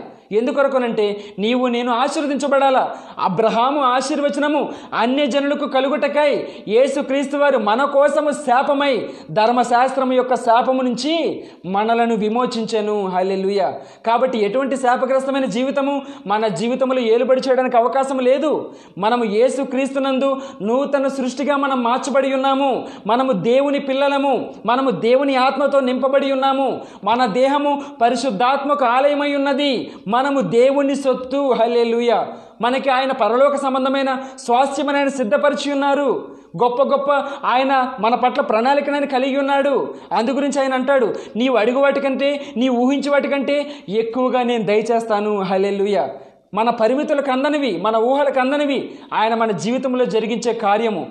నువ్వు నమ్మాలా? ఎప్పుడైతే నమ్ముతావో ఎప్పుడైతే నువ్వు ఆయన సన్నిధికి నమ్మకముతో వచ్చి కూర్చుని ప్రార్థన చేస్తావో గంటలు గంటలు వ్యర్థమైన మాటలు వచిస్తూ నువ్వు ప్రార్థన చేయక్కర్లా. యథార్థమైన హృదయము కలిగి పలికిన రెండు మాటలైనా విశ్వాసముతో పలుకు. నా దేవుడు ఇది ఖచ్చితంగా జరిగించగలడు అని నమ్ము పలుకు. ఎప్పుడైతే ఆ రీతిగా నువ్వు ప్రార్థన చేయడం ప్రారంభిస్తావో ఖచ్చితంగా దేవుడు ఏం చేస్తాడు? నీ ప్రార్థనకి సమాధానము దయచేస్తాడు. హలెల్లుయ. అటువంటి ప్రార్థనకి దేవుడు కదిలించబడతాడు. ఆ శతాధిపతి అన్న మాటలకి ఎలాగైతే యేసుక్రీస్తు వారు కదిలించబడ్డారు అలాగే నీవు నేను యథార్థ హృదయముతో చేసిన ప్రార్థనకి దేవుడు ఖచ్చితంగా సమాధానాన్ని దయచేస్తాడు. ఇక్కడ మనం ఒక వ్యక్తిని చూద్దాము. యహోశివ గ్రంథము పదో అధ్యాయం పన్నెండవ వచనము. ఇక్కడ యహోశివ ఇక్కడ గొప్పగా యుద్ధం జరగడం మనం చూస్తున్నాము. ఆ యుద్ధం రాత్రి అయ్యే సమయానికి ఆ యుద్ధాన్ని ఆపేయాలి. కానీ ఇక్కడ యహోశివ ఏం చేస్తున్నాడనంటే సూర్య చంద్రులను కూడా ఆపేస్తున్నాడు. యహోశివ కాదు ఆపింది. దేవుని నామములో సూర్యుడా నువ్వు ఇక్కడ ఆగిపో? చంద్రుడా నువ్వు అక్కడ ఆగిపో? అని చెప్పని దేవుని నామములో వాటిని ఆజ్ఞాపించడం చూస్తున్నాము. సృష్టిని శాసించడం మనం చూస్తున్నాము. హల్లెలూయ. అంటే యహోశివ యొక్క విశ్వాసం ఎంత గొప్పది? అతను కలిగినటువంటి దేవునితో సహవాసం కలిగి ఉండడం ఎంత గొప్పది ఆయనకి. అందుకే యహోశివ అంటాడు నేనును నా ఇంటి వారును యహోవాను సేవించదము. యహోవాను మాత్రమే సేవించదము. హల్లెలూయ. అటువంటి గొప్ప విశ్వాసము కలిగిన వ్యక్తి అతడు నడిపించబడమే కాకుండా అతని కుటుంబాన్ని కూడా నడిపించేటువంటి వ్యక్తి అటువంటి యహోశివ అంటున్నాడు సూర్య చంద్రులను ఆపినటువంటి ఆ యొక్క వ్యక్తి తప్ప ఈ లోకములు ఇంకెవరూ లేరు. అంతకు ముందు లేరు అంతకు తర్వాత కూడా లేరని వాక్యం చెప్తుంది. కాబట్టి విశ్వాసము ద్వారా దేవుడు కదిలించబడతాడండి. మన కొరకు ఏదైనా చేస్తాడు. ఒక నరుని గురించి ఒక మనిషి చేసిన ప్రార్థన గురించి అక్కడ సూర్యచంద్రుల్ని ఆపేశాడు ఆ యొక్క దేవుడు? ఏహోశివ ఆప్ చేశాడా? ఏహోశివకు ఆ శక్తి లేదు. ఏహోశివ కలిగినటువంటి విశ్వాసము ద్వారా ఎప్పుడైతే అతను ప్రార్థన చేశాడో సృష్టికి ఆజ్ఞాపించాడో అవి ఆగిపోవడం మనం చూస్తున్నాం. కాబట్టి దేవుడు అటువంటి విశ్వాసం ద్వారా చేసే ప్రార్థనలకి ఖచ్చితంగా సమాధానం దయచేస్తాడు. ఆ ఒక్క వ్యక్తి గురించే కాదు చాలామంది ఉన్నారు చాలామంది మన పరిశుద్ధ గ్రంథములు. ఏలియా కూడా ఏలియా ప్రార్థన చేయగా ఆ పరలోకము నుంచి అగ్ని దిగివచ్చి ఆ యొక్క దహన బలిని ఆ యొక్క మొత్తము ఆ రాళ్ళతో సహా మొత్తం కాల్చివేయడం మనం చూస్తున్నాము. సొలోమాను ప్రార్థన చేసినప్పుడు ఆ ఆలయం నిర్మాణం అంతా పూర్తయిన తర్వాత సొలోమాను చేసిన ప్రార్థనకి ఆ మళ్ళీ పరలోకము నుంచి అగ్ని దిగివచ్చి ఆ బలిపీఠం మీద ఉన్న ఆ యొక్క దహనాన్ని ఆ యొక్క మొత్తము దహించి వేయడం మనం చూస్తున్నాము. వీళ్ళందరూ కూడానండి దేవు జీవము గల దేవుని వాక్యం మీద వాళ్ళు విశ్వాసం ఉంచారు. మా దేవుడు పరలోకమందున్నాడు. మా దేవుడు మా ప్రార్థనకి సమాధానము దయచేస్తాడని వాళ్ళు నమ్మారు. వాళ్ళు చూడకపోయినా నమ్మారు. కాబట్టి గొప్ప కార్యాలు దేవుడు ఏం చేశాడు? పైనుంచి అగ్ని కురిపించి నేను ఉన్నాను నేను సజీవుడని నేను ప్రార్థన ఆలకించేవాడిని నాకు చెవులు ఉన్నవి నేను మిమ్మల్ని చూస్తున్నాను అని అతను తాను రుజువు చేసుకుంటున్నాడు. ఎప్పుడైతే నీవు కూడా ఆ రీతిగా విశ్వాసము కలిగి ప్రార్థన చేస్తావో దేవుడు నీ జీవితంలో నేను ఉన్నాను నేను నీవు చేసిన ప్రార్థనకి ఫలాన్ని దయచేస్తాను అని నీ జీవితంలో కార్యాలు చే జరిగించడం ద్వారా తన్ను తాను రుజువు చేసుకుంటాడు. హల్లెలూయ. మనం అపోస్తుల కార్యాలు చూసినట్లయితే వాళ్ళు సువార్త చెప్పుకుంటూ వెళ్తున్నారు. దేవుడు ఏం చేస్తున్నాడు వెనకాల? ఆ సూచక్రియల అద్భుతాలు వాళ్ళ ద్వారా జరిగిస్తూ ఆ యొక్క వాళ్ళని ముందుకు తీసుకెళ్తూ ఉన్నాడు. అక్కడ మనం తేటగా చూడగలము. ప్రభువు వెనువెంట జరిగించుచూ వచ్చిన అద్భుత కార్యాలు సూచక్రియలు చూసి అనేక మంది ఏమయ్యారు? బాప్తీసము తీసుకున్నారు. అనేక మంది రక్షణ పొందుకున్నారు. కాబట్టి ఒక మనిషి చేయలేడు మిరాకిల్స్.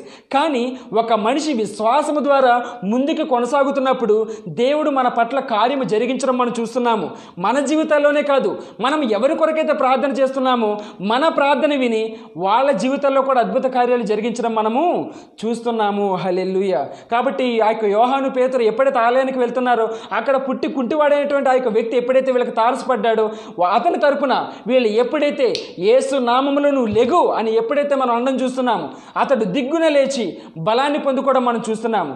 కాబట్టి వాళ్ళు ఏమంటున్నారు? మాలో ఏమీ లేదు. మా తట్టు మీరు ఎందుకు చూస్తున్నారు? వీడిని బలపరిచింది ఏసు నామము. మన కొరకు ప్రాణాలు అర్పించిన ఏసు నామము. మన కొరకు మరణాన్ని జయించి తిరిగి లేచిన ఆ ఏసు నామములోనే వీడు స్వస్థత పొందుకున్నాడు కానీ మాలో ఏమీ లేదు అని అండం చూస్తున్నాం. అవును నా ప్రియ సహోదరి సహోదరుడా ప్రభువు నామమును బట్టి ప్రార్థన చేయవారు అందరూ కూడా ఏమవుతారు?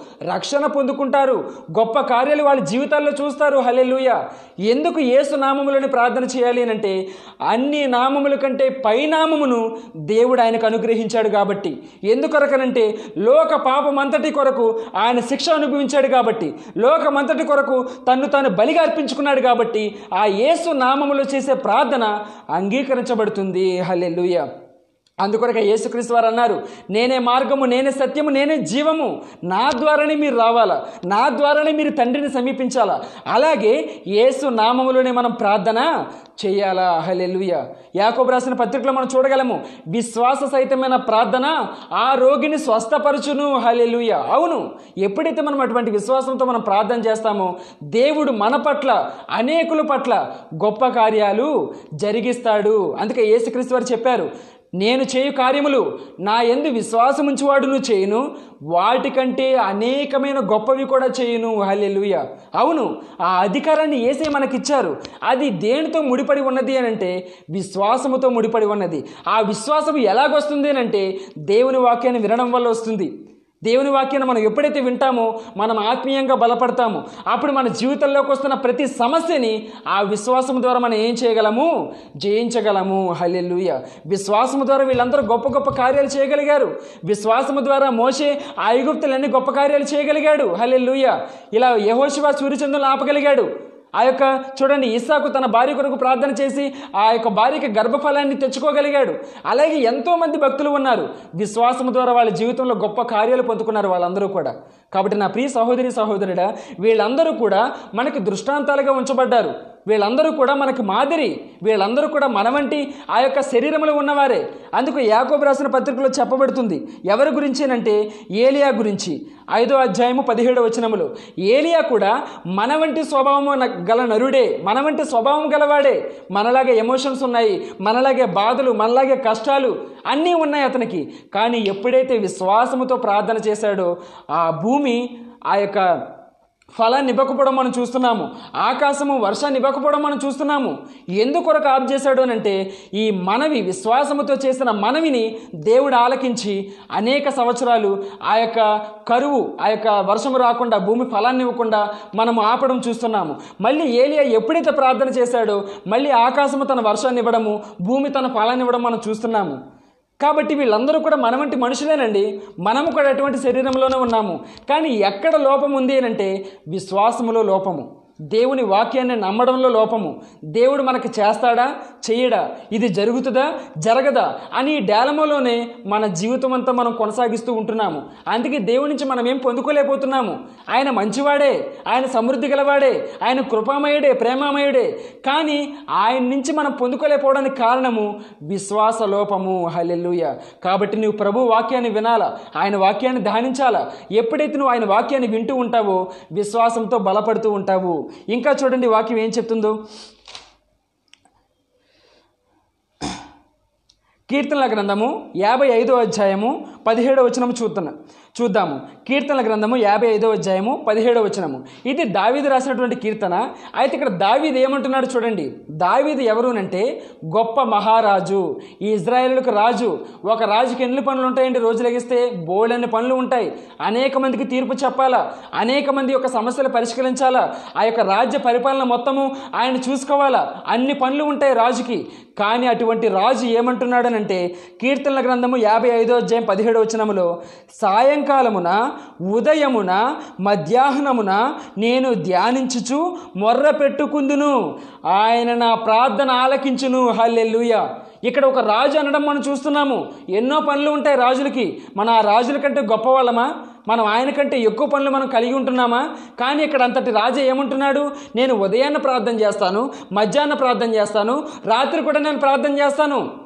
నేను అటువంటి ప్రార్థన జీవితాన్ని నేను కలిగి ఉన్నాను. నా దేవుడు నా ప్రార్థన ఆలకిస్తాడు. నా దేవుడు ఖచ్చితంగా నా ప్రార్థన ఆలకించి నాకు ప్రతిఫలాన్ని దయచేస్తాడని ఇక్కడ దావీది చెప్పడం మనం చూస్తున్నాము. ఇక్కడ తెలుగులో ధ్యానించుచు అని ఉన్నది. కానీ ఇంగ్లీష్లో ఏమున్నది అని అంటే evening and morning and at noon will I pray and cry O Lord and he shall hear my voice hallelujah నేను నా దేవునికి మొర్ర పెడతాను ఖచ్చితంగా దేవుడు ఏం చేస్తాడు? నా ప్రార్థన ఆలకిస్తాడు. అంటే ప్రార్థన చేయడానికి మీరు ఈ సమయంలోనే చేయాలి ఈ సమయంలోనే చేయకూడదని ఏమీ లేదు. మీరు ఎప్పుడన్నా మొర్ర పెట్టచ్చు దేవునికి. ఏ టైంలోనైనా ఆయనకి మీరు ప్రార్థన చేయొచ్చు. దేవుడు ఏ టైంలో చేసిన ప్రార్థన అయినా సరే ఆయన ఖచ్చితంగా వింటాడు ఆయన ఆలకిస్తాడు. మీరు ఎటువంటి సిచ్యువేషన్లో ఉన్నా ఎటువంటి పరిస్థితుల్లో ఉన్నా ఆయన మీ ప్రతి ప్రార్థనకి ఏం చేస్తాడు? సమాధానాన్ని దయచేయడం మనం చూస్తున్నాము. ఇంకా చూసినట్లయితే కీర్తనల గ్రంథము నూట రెండో అధ్యాయము ఏడవచనములో ఆయన దిక్కులేని దరిద్రుల ప్రార్థన నిరాకరింపక వారి ప్రార్థన వైపు తిరిగి ఉన్నాడు. హలెలుయ ఎవరైతే ఆ యొక్క కష్టాల్లో మృగ్గిపోయి ఉన్నారో ఎవరైతే దారిద్ర్యంలో ఉన్నారో ఎవరైతే లేమిలో ఉన్నారో ఎవరైతే దిక్కులేని వారై ఉన్నారో ఎవరైతే తల్లిదండ్రులను కోల్పోయి ఉన్నారో ఎవరైతే ఏ యొక్క సపోర్ట్ లేని వాళ్ళు ఉన్నారో అటువంటి వాళ్ళందరికీ కూడా దేవుడే దిక్కు. అటువంటి వాళ్ళందరూ కూడా ఎప్పుడైతే దేవుని వైపుకి తిరుగుతారో వారి సృష్టికర్త అయిన దేవుని వైపుకి తిరిగి ప్రార్థన చేస్తారో ఖచ్చితంగా వారి జీవితంలో గొప్ప కార్యాలు చూస్తారు. హలెల్లుయ. వాళ్ళందరి ప్రార్థనల నిరాకరించడంట దేవుడు. ఖచ్చితంగా ఆలకించి వాళ్ళకి ప్రతిఫలాన్ని దేవుడు దయచేస్తాడంట. హలెలుయ అటువంటి దేవుని మనం కలిగి ఉన్నామండి. అటువంటి కృపా కనిక్రమగల దేవుని మనం కలిగి ఉన్నాము. కాబట్టి అటువంటి విశ్వాస సహితమైన ప్రార్థన మనం ఎలా చేయగలము అంటే మనం పరిశుద్ధాత్మను పొందుకోవాలా? ఇక్కడ దావీదు పరిశుద్ధాత్మను కలిగినటువంటి వ్యక్తి. అందుకే ఆ రీతిగా అతడు శరీరాన్ని అధిగమించి ఆత్మలో ఎక్కువగా దేవుడితో సహవాసం చేయడం మనం చూస్తున్నాము. అలాగే మనం యేసునందు విశ్వాసం ఉంచి ఆయనలో మనం బాప్తిసము తీసుకుని మనం నూతన సృష్టిగా మార్చబడి ఎప్పుడైతే ఆ పరలోకం నుంచి వచ్చే పరిశుద్ధాత్మను మనం పొందుకుంటామో ఆ పరిశుద్ధాత్మ దేవుడు ఏం చేస్తాడనంటే మన పక్షాన ప్రార్థన చేస్తాడంట ఆయన. మనకి ఎలా ప్రార్థన చేయాలో తెలియదు ఏ రీతిగా దేవుణ్ణి అడగాలో తెలియదు ఎంత నా ఎంత నాగ్గా అడగాలో మనకు తెలియదు అంటే ఆయన యొక్క మనసు ఏంటి? ఆయన ఎలా చేస్తే మన ప్రార్థన ఆలకిస్తాడు? అనే టెక్నికల్ మనకు తెలియదు కానీ ఎప్పుడైతే మనల్ని సృజించినటువంటి ఆ యొక్క దేవాతి దేవుని యొక్క పరిశుద్ధాత్మను మనం పొందుకుంటామో ఆ పరిశుద్ధాత్మ దేవుడు ఏం చేస్తాడు? మనల్ని లీడ్ చేస్తాడు. ఏ రీతిగా ప్రార్థన చేయాలి? ఏ రీతిగా అడగాలి? ఏ వాక్యాన్ని పెట్టి ప్రార్థన చేయాలి? అని ఉచ్చరింప సఖ్యము కాని మూలికతో మన పక్షాన ఆయన ఏం చేస్తాడు? ఆ దేవాతి దేవునికి ప్రార్థన చేస్తాడు. హల్లెలూయ. అది ఎక్కడో మనం చూద్దాము చూడండి. రోమిలకు రాసిన పత్రిక ఎనిమిదో అధ్యాయము ఇరవై ఆరో వచనం చూద్దాము. రోమిలకు రాసిన పత్రిక ఎనిమిదో అధ్యాయము ఇరవై ఆరో వచనం మనం చూద్దాము.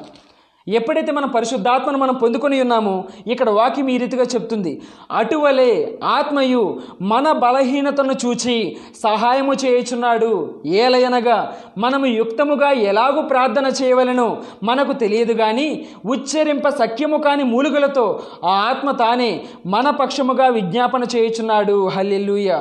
మరియు హృదయములను పరిశోధించువాడు ఆత్మ యొక్క మనసు ఏదో ఎరుగును. ఏలయనగా ఆయన దేవుని చిత్త ప్రకారము పరిశుద్ధుల కొరకు విజ్ఞాపన చేయుచున్నాడు. హలెలుయ చూడండి ఇక్కడ వాక్యం ఏం చెప్తుంది? అంతేకాకుండా దేవుణ్ణి ప్రేమించు వారికి అనగా ఆయన సంకల్పము చొప్పున పిలువబడిన వారికి మేలు కలుగుటకై సమస్తమును సమకూడి జరుగుచున్నవని ఎరుగుదుము. హలెల్లుయ. అవును దేవుడు నీ ప్రతి పరిస్థితిని మార్చగలడు. నీ కొరకు మొత్తం సృష్టిని అంతటి కూడా ఆయన మార్చగలడు. నీ చుట్టూరు ఉన్న పరిస్థితులు ఆయన మార్చగలడు. నీ కొరకు నీ జీవితంలో కార్యం జరగడానికి సృష్టిలో ఉన్నదాన్ని కూడా దేవుడు ఏం చేస్తున్నాడు? మారుస్తున్నాడు. ఎలాగైతే ఆ యహోశివ యుద్ధం జరిగించడానికి సూర్య చంద్రుల్ని ఎలాగైతే దేవుడు ఆఫ్ చేశాడో అలాగే నీ జీవితంలో గొప్ప కార్యము దయచేయడానికి నీకు నీకు అనేకమైన ఉపద్రవాలు వచ్చి ఉండవచ్చు అనేకమైన కష్టాలు వచ్చి ఉండవచ్చు కానీ వాటన్నిటిని ఆయన తీసివేయడానికి నీ చుట్టూరు ఉన్న పరిస్థితులను కూడా ఆయన మారుస్తున్నాడు. నీ శత్రువులను కూడా ఆయన నీకు మిత్రులుగా ఆయన మార్చగలడు. ఆయనకు అసాధ్యమైన అసాధ్యమైనదంటే ఏది లేదు. హలెల్లుయ. ఆ సృష్టి ఆయన చిత్తానికి లోబడి ఏం చేస్తుందంట? నీకు కావలసిన ప్రతి అవసరతని ఆ సృష్టి దయచేస్తుందంట. హలెల్లుయ. కాబట్టి ఆ సృష్టికి దేవుడు ఆజ్ఞాపిస్తాడంట. నా కుమారుడికి సమస్య ఉంది నీవు దాన్ని తీర్చాలా అని చెప్పని ఆ సృష్టికి దేవుడు ఆజ్ఞాపిస్తాడంట. కాబట్టి ఏం జరుగుతుందంటే ఇక్కడ? దేవుణ్ణి ప్రేమించే వారికి ఎప్పుడైతే మనం ఆయన ప్రేమించి ఆయనకు ప్రార్థన చేస్తామో అనగా ఆయన సంకల్పము చొప్పున పిలువబడిన వారికి మేలు కలుగుటకై సమస్తమును సమకూడి జరుగుచున్నవి. మనకు మేలు చేయాలి అనేది దేవుని యొక్క ఉద్దేశము. మనకు కీడు చేయాలనేది ఆయన యొక్క ఉద్దేశము కాదు. మనకు మేలు చేయడానికి ఆయన ఏం చేస్తాడు? మన కొరకు సమస్తాన్ని ఆయన చేస్తాడు. హలెల్లుయ. నీ కొరకు ప్రాణమే పెట్టాడయ్యా ఆయన. నీ కొరకు రక్తమే చిందించాడు. అటువంటి దేవుడు నీకున్న ఇరుకు నుంచి ఇబ్బంది నుంచి నీకు ఆయన విడుదల దయచేయడా? ఖచ్చితంగా చేస్తాడు. నీవు కేవలం చేయవలసింది ఆయన్ని ప్రేమించడము ఆయన్ని నమ్మడము ఆయన పైన విశ్వాసం ఉంచడము దేవుడు నా జీవితంలో గొప్పగా ఈ కార్యం చేస్తాడు. అని నీవు నమ్మాలా? ఎప్పుడైతే నువ్వు నమ్ముతావో నీవు నమ్మిన ప్రతి దానికి నీవు ప్రతిఫలాన్ని పొందుకుంటావు. దేవుడు నీకు ఖచ్చితంగా ఏం చేస్తాడు? సహాయం చేస్తాడు. ఇంకా మనం చేయాల్సింది ఏంటి అంటే పిలుపులకు రాసిన పత్రిక నాలుగో అధ్యాయం ఆరో వచనం ప్రకారము మనము కృతజ్ఞతతో కూడిన ప్రార్థన చేయాలి. ఇప్పటి వరకు దేవుడు మన జీవితంలో చేసిన మేలుల విషయమై అవును నిజముగా ఇప్పుడు మనం సజీవులమై ఉన్నామనంటే నిజముగా దేవుని యొక్క కృప ఎంతోమంది చనిపోతున్నారు ఎంతోమంది వారు ప్రాణాన్ని విడిచిపెడుతున్నారు. ఒక మనిషి లోకమంతా సంపాదించుకుని తన ప్రాణమును పోగొట్టుకుంటే ఏం ప్రయోజనము? హల్లెలూయ. కాబట్టి దేవుడు మనకి ఇంకా ప్రాణాన్ని ఉంచాడు. మనం ఇంకా సజీవమై ఉన్నాము. కాబట్టి అది మన జీవితంలో దేవుడు ఏర్పాటు చేసిన కృప. ఆ విషయమై మనము కృతజ్ఞాస్థుతులు చెల్లించాలంట. నా దేవా నీకు వందనములు. ఈ రీతిగా నన్ను సజీవుడివై ఉంచినందుకు వందనములు. ఇంకా నా పట్ల మీరు చూపుతున్న కృపను బట్టి వందనములు. అని కృతజ్ఞతతో కూడిన ఆ ప్రార్థన మనము చేయవలసిన వారమై ఉన్నాము. ఇంకా మన ప్రార్థన ఎలాగుండాలి అని అంటే తగ్గించుకుని ప్రార్థన చేయాలి. లూకాసు వార్త పద్దెనిమిదో అధ్యాయం పదో వచనములో ఒక పరిసయుడు ఒక సుంకరి చేసే ప్రార్థనని యేసుక్రీస్తు వారు చూపిస్తూ పరిసయుడు చేసే ప్రార్థన గర్వముతో కూడినదై ఉంటుంది. కానీ సుంకరి చేసే ప్రార్థన తగ్గింపుతో కూడినదై ఉంటుంది. కాబట్టి దేవుడు ఏం చేశాడంట? ఆ సుంకరి చేసిన ప్రార్థనని దేవుడు ఆలకించాడంట. ఎందుకంటే సుంకరి తను తాను తగ్గించుకుని ప్రార్థన చేస్తున్నాడు. అలాగే నీవు కూడా దేవుని సన్నిధికి వచ్చినప్పుడు నిన్ను నువ్వు తగ్గించుకుని ప్రార్థన చేయాలి. నిన్ను నువ్వు ఒబీడియంట్గా నువ్వు ఏం చేయాలి? తగ్గించుకుని గర్వపు మాటలు లేకుండా దేవుని సన్నిధిలో తగ్గించుకుని నీవు కృతజ్ఞతాపూర్వకముగా దేవునికి ఎప్పుడైతే ఆ యొక్క విజ్ఞాపన తెలియజేస్తావో నీ ప్రతి విజ్ఞాపన ఏసు నామందు ఎప్పుడైతే ఆయనకు తెలియజేస్తావో ఖచ్చితముగా ఏసుక్రీస్తు వారు నీ కొరకు చిందించిన రక్తాన్ని బట్టి ఆయన నీ ప్రార్థన ఆలకిస్తాడు నీ మనవులు ఆలకిస్తాడు. హలెలుయ ఎందుకంటే మనమందరము ఏసుక్రీస్తు సంబంధులము మనము ఏసుక్రీస్తు వారము మనం ఆయన పిల్లవాడితో ఆయన ఆయన కుమారుడైనటువంటి ఏసుక్రీస్తు వారిలో మనమందరము ఆ యొక్క దేహములో ఉన్నాం మనము. ఆయనే శిరస్సు ఆయన దేహమే మనమందరము కూడా. కాబట్టి మన ప్రతి ప్రార్థన దేవుడు ఏం చేస్తాడు? ఖచ్చితముగా ఆలకిస్తాడు. ఇంకా మన యొక్క ప్రార్థన ఎలాగుండాలి అని అంటే చూడండి మత్తేసు వార్త ఇరవై ఒకటో అధ్యాయము ఇరవై రెండో వచనం చూద్దాము. మత్తేసు వార్త ఇరవై ఒకటో అధ్యాయము ఇరవై రెండో వచనము. మన ప్రార్థనలో మనము చేస్తున్నప్పుడు ఎలా ఉండాలి మన ప్రార్థన? ఏ రీతిగా ఉండాలి? మతేసు వార్త ఇరవై ఒకటో అధ్యాయము ఇరవై రెండో వచనము. మరియు మీరు ప్రార్థన చేయనప్పుడు వేటిని అడుగుదురో అవి దొరికినవని నమ్మిన ఎడల మీరు వాటన్నిటినీ పొందుదురని వారితో చెప్పాను. హలెలుయ సో మీరు ఒక వస్తువు గురించి అడుగుతున్నారా? మీరు ఆరోగ్యం గురించి అడుగుతున్నారా? ఒక ఇల్లు గురించి అడుగుతున్నారా? లేదా దేని విషయమే మీరు దేవునికి ప్రార్థన చేస్తున్నారు? ఒక సమస్య పరిష్కారం అవడానికి ప్రార్థన చేస్తున్నారా? దే ఏ విషయమై మీరు దేవుని సన్నిధిలోకి వచ్చి మోకరించి మీ ప్రార్థన అవసరతలు ఆయనకి తెలియజేయాలి అని అనుకుంటున్నారు? ఆ అంశాలు ఏమవ్వాలి? మీరు ఏదైతే అడిగారో దేవుణ్ణి అవన్నీ దేవుడు మీకు దయచేశాడు అని మీరు నమ్మాలంట. ఇక్కడ చూడండి క్లారిటీగా చెప్తుంది. మరియు మీరు ప్రార్థన చేయనప్పుడు వేటిని అడుగుదురో అవి దొరికినవి అవి నాకు దేవుడు దయచేశాడు అని మీరు ఎప్పుడైతే నమ్మి ప్రార్థన చేస్తారో నమ్మిన ఎడల మీరు వాటన్నిటినీ పొందుదురని వారితో చెప్పాను. వాటన్నిటినీ ఏ ఒక్కటి విడువబడదు ఏ ఒక్కటి తృణీకరించబడదు. ప్రతి ప్రార్థన every prayer should be answered ఖచ్చితంగా ప్రతి ప్రార్థనకి దేవుడు ఏం చేస్తాడు? సమాధానాన్ని దయచేస్తాడు. హల్లెల్లుయ ఎందుకంటే మన ప్రార్థన దేవుని దృష్టిలో చాలా విలువైనది. ఆయన మన ప్రార్థన అంగీకరిస్తాడు ఖచ్చితంగా. కాబట్టి మనం చేసే ప్రతి ప్రార్థనకి ఆయన సమాధానాన్ని దయచేస్తాడు. తన కృపను బట్టి తన ప్రేమను బట్టి తన వాత్సల్యతను బట్టి మనం ఆయన బిడ్డలుగా మారి ఉన్నాం కాబట్టి దేవుని ఆత్మచేత ఎందరూ నడిపించబడుదురో వాళ్ళందరూ దేవుని కుమారులను కుమార్తెలు ఉన్నారని వాక్యం చెప్తుంది. ఎప్పుడైతే నువ్వు నేను బాప్తిసము ద్వారా మనము ఎప్పుడైతే పరిశుద్ధాత్మను పొందుకొని ఉన్నామో మనమందరము కూడా దేవుని బిడ్డలుగా మనం మార్చబడ్డాం. దేవుడు మనకి దిగో ప్రభు నామమును ప్రార్థన చేయ వారందరూ కూడా రక్షించబడతారని వాక్యం చెప్తుంది. ఏసునందు ఎవరైతే విశ్వాసం ఉంచుకున్నారో వాళ్ళందరూ దేవుని పిల్లలు అవుటకు అధికారం అనుగ్రహించి ఉన్నారని వాక్యం చెప్తుంది. ఇది మనకు దేవుడిచ్చినటువంటి అధికారము. కాబట్టి నువ్వేదో గాలికి ప్రార్థన చేసినట్టు కాదు అధికారంతో అడుగుతున్నావు. ఆయన నీ తండ్రి నీవు ఆయన కుమారుడువు. కాబట్టి నీవు చేసే ప్రతి ప్రార్థనకి దేవుడు సమాధానాన్ని దయచేస్తాడు. మీ పరలోకమందున్న తండ్రి ఖచ్చితంగా లూకా పదకొండు పదమూడు ప్రకారము పరిశుద్ధాత్మను మీ అందరికీ దయచేస్తాడు. హలెల్లుయ. ఆ పరిశుద్ధాత్మ దేవుడే మీకు ప్రతిదీ బోధించి మీ తరపున ఆయన ప్రార్థన చేస్తాడు. కాబట్టి ఒక చోట ఫౌలు అంటాడు నేను ఆత్మలోనూ ప్రార్థన చేస్తాను నేను మనసుతో కూడా ప్రార్థన చేస్తాను. ఒకవేళ పరిశుద్ధాత్మడే ఓకే నా గురించే ప్రార్థన చేస్తూ ఉంటే నా మనసు ఫలభరితంగా ఉండదు.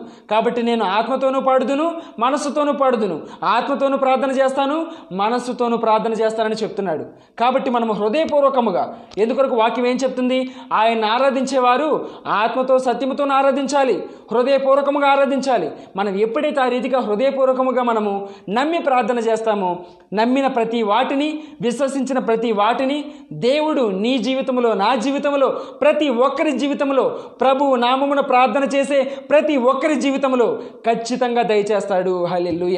కాబట్టి వాక్యము నమ్మదగినది అంగీకారమునకు యోగ్యమైనది. హలెల్లుయ. దేవుడు చెప్పిన ఏ మాట కూడా నిష్ఫలము కాదు. ఆకాశము భూమి గతించినే కానీ నా మాటల్లో ఒక్కటి కూడా గతించవని ఆ దేవుడు చెప్పి ఉన్నాడు. కాబట్టి దేవుని వాక్యము మారదు. కేవలం మారవలసింది నీ నా జీవితము ఆత్మీయ జీవితము. ఎప్పుడైతే మనము దేవుని యొక్క వాక్యాన్ని మనం పట్టుకుని ఆయన నామంలో మనం ప్రార్థన చేస్తామో ఖచ్చితంగా మనం చేసిన ప్రతి ప్రార్థనకి దేవుడు ఏం చేస్తాడు?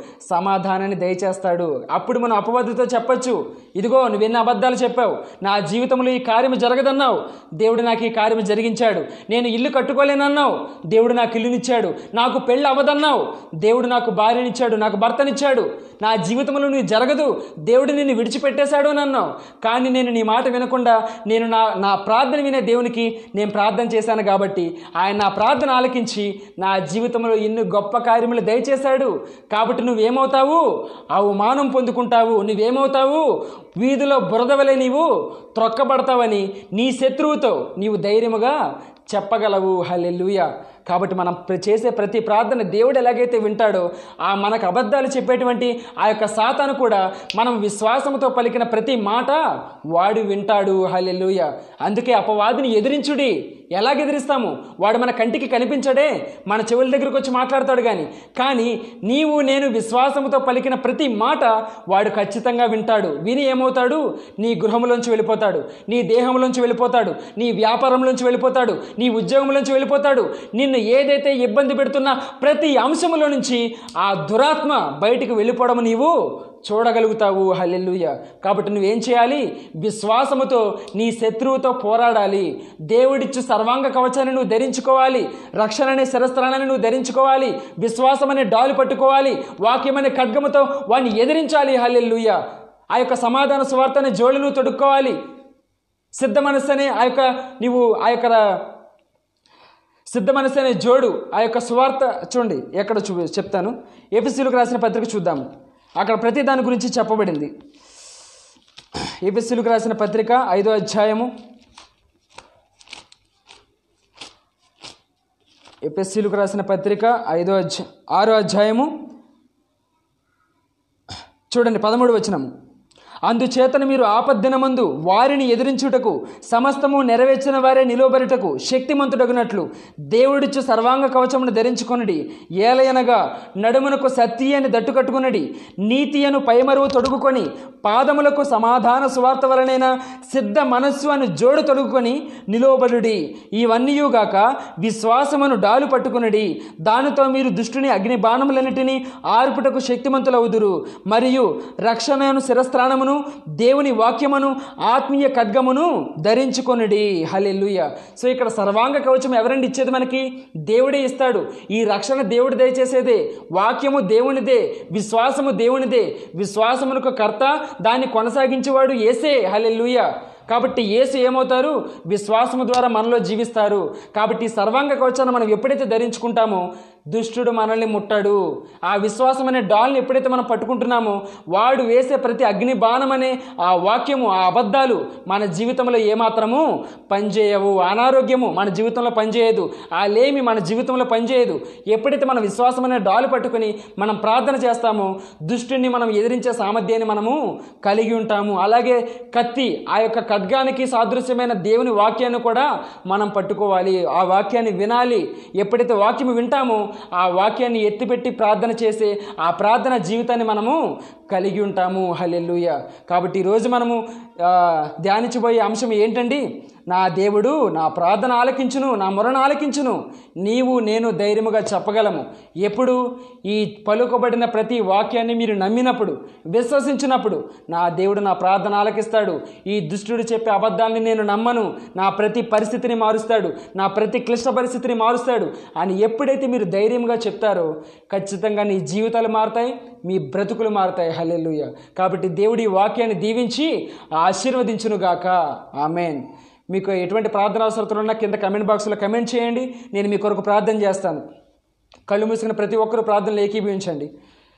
ముగింపు ప్రార్థన చేస్తాను. స్తోత్రం స్తోత్రం తండ్రి ప్రభువ ఏసయ్య మీకు వందనములు. తండ్రి మీ జీవము గల వాక్యము ద్వారా ప్రతి ఒక్కరితో మాట్లాడినందుకు వందనములు ప్రభువ. ఆ వాక్యము వారిలో నిలిచి నూరింతలుగా ఫలించే సామర్థ్యాన్ని దయచేయండి. మా దేవుడు మా ప్రార్థన ఆలకించేవాడని మా ప్రార్థనకు సమాధానము దయచేయవాడని మా ప్రార్థన కొరకు సమస్త సృష్టిని ఆపగల శక్తిమంతుడని. ఇదిగో వాక్యము విన్న వీడియో చూస్తున్న లైవ్ చూస్తున్న ప్రతి ఒక్కరూ కూడా తండ్రి ప్రభువ విశ్వసించి ఆ యొక్క బలాన్ని పొందుకునే సామర్థ్యాన్ని ప్రతి ఒక్కరికి దయచేయండి. మీ వాక్యము ద్వారా వాళ్ళు బలం పొందుకుని ఆ యొక్క దృష్టిని ఎదిరించే సామర్థ్యాన్ని వారు దయచేయండి ప్రభువ. వారిలో తండ్రి ప్రభు విశ్వాసాన్ని వృద్ధిపరచండి ప్రభు ఏసయ్య.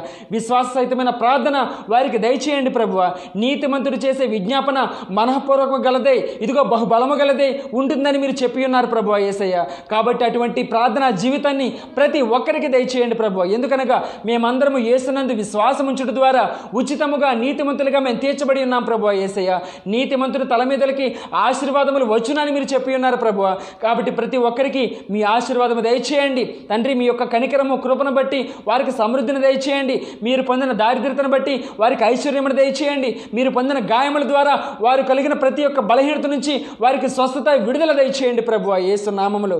తండ్రి నా నామమున మీరు నన్నేమి అడిగినను నేను ఇస్తానని మీరు వాగ్దానం ఇచ్చినారు కదా ప్రభు. కాబట్టి మీ వాక్యమును బట్టి తండ్రి ప్రభు మీ నామములో వారి జీవితంలో గొప్ప కార్యములు దయచేయమని ప్రతి ఒక్కరి జీవితాన్ని దర్శించమని వారికి ఉన్న ఇరుకుల నుంచి ఇబ్బందుల నుంచి ప్రతి ఒక్క సమస్య నుంచి విడుదల దయచేయమని. కోర్టు సమస్య నుంచి తండ్రి ప్రభు ఏసయ్య ఆ యొక్క అనారోగ్య సమస్యల నుంచి అనేక రకమైన వివాదాల నుంచి వాళ్ళు ఏదైతే ఇబ్బంది పెడుతున్నారో ప్రభు ఏసయ్య ఏ బలహీనత ద్వారా పీడించబడుతున్నారో చేతబడి శక్తుల నుంచి ప్రభు ఏసయ్య దురాత్మ శక్తుల నుంచి ప్రతి ఒక్క బలహీనత నుంచి ప్రభు ఏసయ్య ఏసు నామంలో వారందరికీ విడుదల వచ్చిన గాక ప్రభు ఏసయ్య. ఇప్పుడే వారి యొక్క జీవితంలో గొప్ప కార్యములు దయచేయమని. నా జరయుడైన యేసు క్రీస్తు నామములు అడిగి వేడుకొనుచున్నాను తండ్రి. ఆమెన్. ప్రైజ్ రాడండి